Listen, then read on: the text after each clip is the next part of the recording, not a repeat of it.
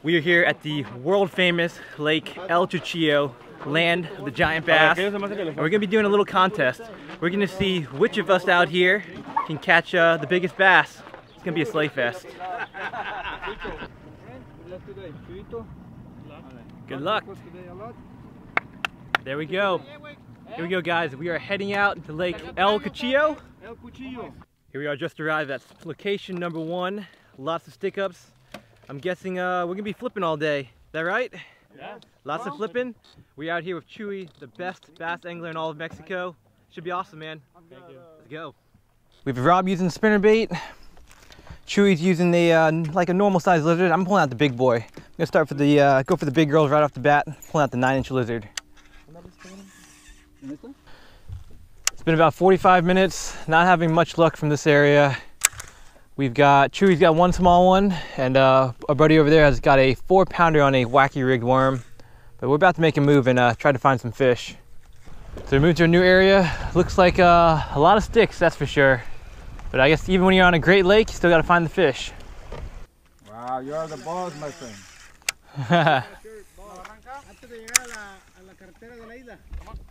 Oh, that's a good fish. Come on, come on. That's a big fish. I'll help you. I'll help you. Oh, he's around the tree. Oh, okay. Yeah, you still got it? Yeah, I thought you had a giant. Well, it still could be a big one. You still feel it? That's uh, now he's off. He's off. Four, four, four. Whoa, you got him. What? After being stacked that whole time? He was wrapped around a tree. well, that There you go, Rob. First one. He was afraid you, yeah? all right. That's one way to catch a fish. Nice, dude. Hey. Mexican way. That, that was weird. Got one? Oh, good fish, good fish. Oh, into the tree. Oh, nice, first good one of the day. Nice. On the lizard, man. So using a lizard, you got a little rattle on it too? Little lateral. Nice one, nice one, good. Yeah, mm-hmm. There she goes. Nice job, man. Thank you. Wow, that wind picked up right when I dropped it down. Dude, oh my, oh, the hat, the, straw hat. No, Hook it. no, my hat's gone. Just to blow my hat. Would that have knocked out down your drone or not really? No, it wouldn't have done anything to the drone. It's just. There we go. There you go, man. Hat's back. Good to go. Not gonna lie, my 10 pounder senses are tingling. Any second now. Might be this tree right here, actually.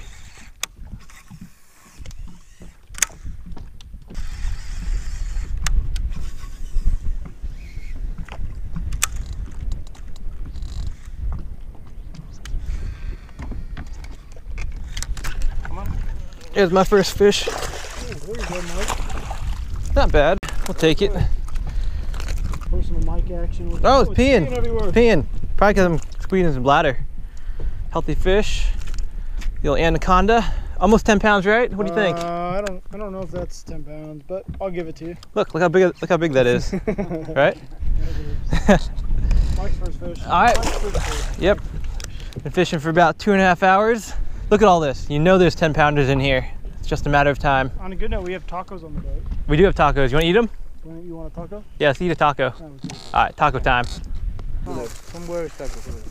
Oh, tacos. Oh, those are tacos. Oh, Oh, those are good. Dude, look at all these tacos, man. It's a lot of tacos. Let's see what's in them. Mmm. What's in here? Uh, beans? Egg and some. egg and I'm so, well, there's no sausage, it's Mmm. meat. Want some? All right, we're gonna recharge a little. Then get back on the um, flipping and pitching grind. We got a got a lot of wood to cover, that's for sure. So we're mixing up a little now. We're on the main river channel. We're gonna be casting shallow in about three to four feet, then bringing it back out to the channel along that uh, stair step, whatever drop off, 20 to 25 feet. Hopefully we'll find some bass stacked somewhere around here. All right, I'm putting away the big boy. It's time to go finesse on these fish. The grind's been hard out here. We've been out here for like Let's see what time it is. Time is 2:20. Now here a long time. Not much luck.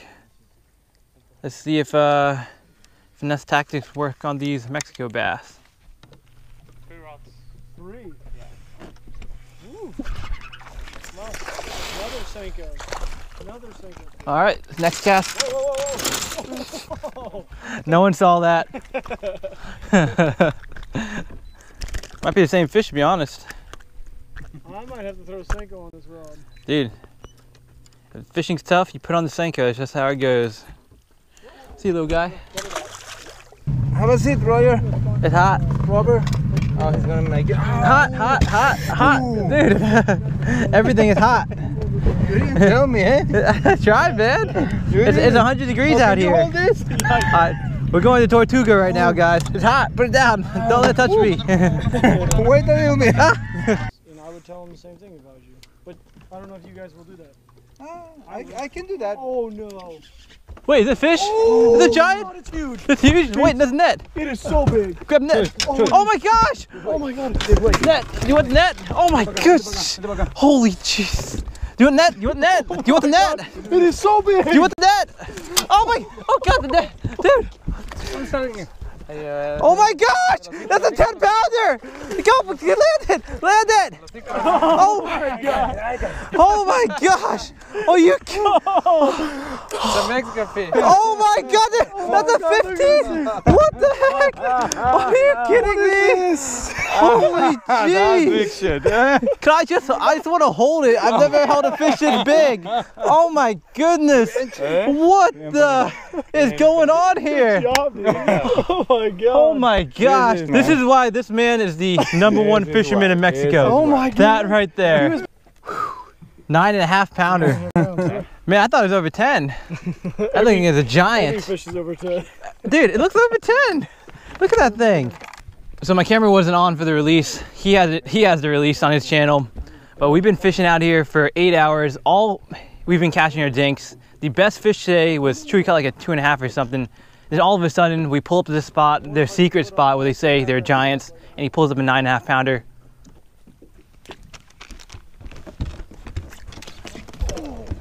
Oh, you got one? Oh, it's a big Is fish. it a big fish?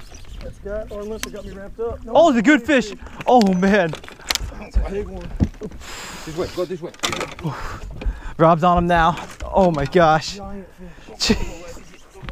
Now it's turning on. Wait, wait, wait, wait, wait, wait, wait, wait. Put it up, put it up. Oh! Woo! Dude! No. On the Senko! On the Senko. Oh my gosh, man. Another beauty. Dude, it's turned. How did it happen? The first eight hours a day, nothing. Now, oh, last hour, two monsters. I knew that was a giant. Oh, Right. there we go, boys. It's another giant. Oh, right when my camera dies. Good too. timing, man. Mm. Mm. Let me call you back. I just There she goes, man. Nice stuff. thank you. Good job. Way to go. What, what do you call this spot? What do you call Eh? it? What's the spot? awesome. Name of the spot? Uh, it's uh, creek. Oh, this is Turtle. Tortugas Creek. Turtle. Turtles. We're, we're in uh, Turtle Creek, Turtle Creek. catching and not turtles. So we just caught those two huge fish. We're making a move to another good area. And this whole area is just a little sweet spot they like to fish. These two guys caught their fish five yards apart. Five yards, that tree and that tree over there. That was it. So now we're moving, hopefully more big fish. All right, we're calling it a day. Rob's giant that he caught was the last fish caught. It was a really interesting day. We grinded out for like seven and a half hours, caught a bunch of dinks, and that one 30 minute time span caught a nine and a half by Chuy, and Rob caught like an eight pounder. Really, really interesting how the uh, day worked out. The two giants from that one little area, and the rest of the day, uh, pretty tough, not, I'm not gonna lie.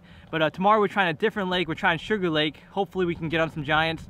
And I'd like to thank uh, Winston Tucker from Favorite Rods and Reels for letting me try out some of his rods while I'm down here. I got to try out his um, Balance series, which is runs for $80. It's a pretty cheap rod and honestly it's one of the best rods I've used in this price range. You can see how thin it is, extremely lightweight, good amount of sensitivity. I was very impressed for the, uh, the price that it went for. Then I also got to try his flagship rod, the uh, Summit rod, which goes for about $300. This rod has got to be one of the most sensitive rods I've ever used in my entire life. wherever you put your hand, it's gonna be all over the blank right here. It's gonna transmit all that feel and vibration right to the palm of your hand. And that's actually almost an issue because every time I went over a stump or a rock, I felt so much uh, feedback into my arm, I almost thought it was a bite. But um, looking forward to testing more of those rods out. So far, I'm liking them. We'll see. Uh, we'll see what happens tomorrow.